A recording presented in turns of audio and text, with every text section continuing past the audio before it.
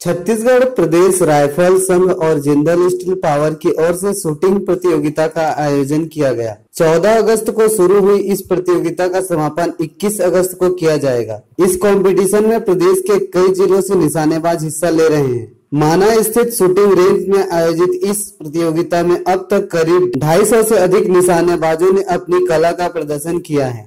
संघ के सचिव के मुताबिक ये सत्रहवा राज्य स्तरीय कॉम्पिटिशन है। जिसका आयोजन किया गया है। उन्होंने बताया कि इसमें शामिल होने के लिए अब तक प्रदेश के कई जिलों से निशानेबाज राजधानी पहुंचकर इसमें हिस्सा ले चुके हैं। उन्होंने कहा कि यहाँ से विजेता होने वाले आगे नेशनल में भी हिस्सा लेंगे। वहीं जिंदल स्टील की ओर से बताया गया कि निशानेबाजों को प्रेरित करने इस तरह की प्रतियोगिता का आयोजन किया जाता है। कंपनी के अधिकारियों के मुताबिक प्रतियोगिता के पहले दो चरणों में ट्रेनिंग प्रोग्राम भी आयोजित किए गए थे। छत्तीसगढ़ प्रदेश राइफल एसोसिएशन की तरफ़ से 14 अगस्त से सत्रहवीं राज्य स्तरीय निशानेबाजी प्रतियोगिता का आयोजन शुरू किया गया था। इस प्रतियोगिता में 25 मीटर 50 मीटर 10 इवेंट के 10 मीटर के अलग अलग इवेंट्स हमने रखे हुए हैं। और इसके अलावा रायपुर, बिलासपुर, दुर्ग, राजनांदगांव, बेमेतरा, बालोद धमतरी, अंबिकापुर और कोरिया। हाँ बैकुंठपुर, कोरिया और ये जशपुर। यहाँ के शूटर हाँ रायगढ़। यहाँ इतने ज़िलों के शूटर्स अभी तक हमने देखे हैं, यहाँ पे आ रहे हैं, खेल रहे हैं प्रतिभागी।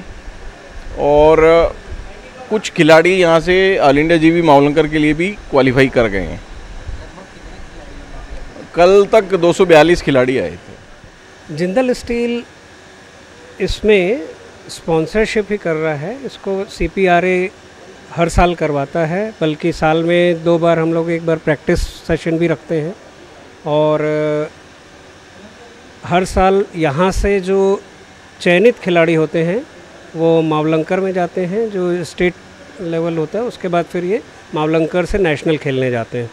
और, नवीन जिंदल जी का, हमारे चेयरमैन साहब का, ये एक बेसिक मोटिव है कि खिलाड़ियों को जितना बढ़ाया जा सके उसमें ये बहुत अच्छी भूमिका निभाता है।